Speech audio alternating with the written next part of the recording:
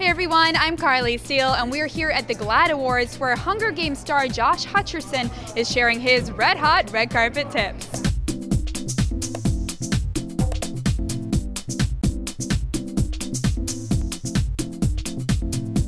Well, Josh, nice to see you fresh off the Hunger Games promotional Yes. whirlwind. I saw you at the beginning. Looking very sharp, I must say. Do you have any uh, tips for the guys out there who want to emulate your style? Um, keep it clean, clean and classic.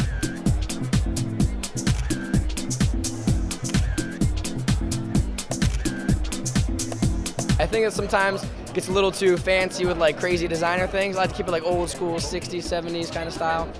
I'm all about tank tops right now.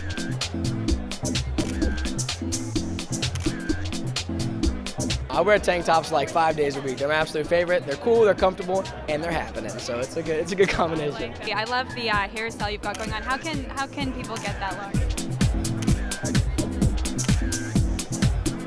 Oh boy, uh, you have to hire somebody to get to look like this. I can't do this on my own. I need much help from many many others for this. Yeah. Thank you. Have a great night.